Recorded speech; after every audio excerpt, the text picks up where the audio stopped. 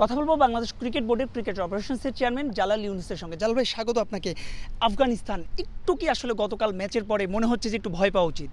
ভয় আমি বলব না, তবে যেটা কালকে যে ম্যাচটা জিতেছে, আপনি যেটা দেখেছেন যে দ্যাট ইজ যে প্লাস পয়েন্ট একটা ওয়ান সাইডেড ম্যাচ তারা জিতেছে এবং খুব কনভিনসিংলি তারা শ্রীলঙ্কাকে হারিয়েছে। আমি তো মনে করি শ্রীলঙ্কা আফগানিস্তান থেকে আশা করেছিলাম যে আর মোর ব্যালেন্স সাইড আমরা মনে করি যে যেদিন যে সেরাটা খেলবে মাঠের মধ্যে he should come back as a মানে অ্যাজ এ ভিক্টোরিয়াস তো এখানে আমরা ওরকম কিছু আমরা চিন্তাভাবনা করছি না যে তারা কে ভালো খেললো কে খারাপ খেললো আগের ম্যাচে। এটা মাথায় না নিয়ে আমাদের কি প্ল্যান হবে তাদের সাথে ম্যাচের সাথে? তাদের ম্যাচে এইটাই আমাদের মোস্ট ইম্পর্টেন্ট বাংলাদেশ দলে দেখলাম যে দুজন ভারতীয় দুজন নেট বোলারকে আনা হয়েছে। আসলে ইনক্লুশনটা কেন হয়েছে?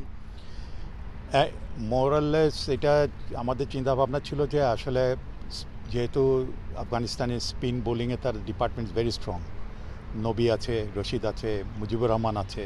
তো এটাকে ট্যাকেল করার জন্য আমরা মনে হয়েছিল যে যেহেতু আবুধাবি থেকে একজনকে নেওয়া হয়েছে, ইন্ডিয়া থেকে একটা এসেছে, আর আমরা বাংলাদেশ থেকে একজনকে নিয়ে এসেছি। এইটা, এবং এই স্পিন বোলিং এই কন্ডিশনে প্র্যাকটিস করার জন্য মূলত আমাদের এই উদ্দেশ্য। আফিফের যেটা বলা হচ্ছে যে Afif is all he was always confident আর আমি একটা বলি, এখানে আফিফকে করার কারণ হচ্ছে আমাদের একটা প্ল্যান আছে যে আমাদের কাছে যাদের মনে করেছি যে আমাদের একটা কিন্তু পাঁচ ছজন আছে যারা ভবিষ্যতে লিডারশিপের যাদের মধ্যে কোয়ালিটি আছে, তো he is one of them আরও আমাদের হাতে আছে। তিনটা ফর্মেটের জন্য আমরা এখন থেকে আমরা চিন্তা করছি তারা ভাইস ক্যাপ্টেন হবে রোটেশন ওয়াইজ থাকবে, যাতে ভবিষ্যতে তিন চারজন ক্যাপ্টেন্সির জন্য রেডি থাকে।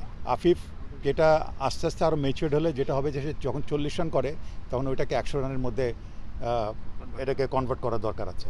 তো এই জিনিসটা আস্তে আস্তে শিখবে, আশা করি হয়ে যাবে। জালাল ইউনুস স্বপ্ন দেখছে স্বপ্ন দেখছে বাংলাদেশও। তরুণ আফিফ এবাদা তার অভিজ্ঞ সাকিব মুশফিকরা কতদূর নিয়ে যেতে পারে টিম টাইগারকে, সেটাই এখন দেখার অপেক্ষা। মাহবুব রিমন, সময় সংবাদ, দুবাই, সংযুক্ত আরব আমিরাত।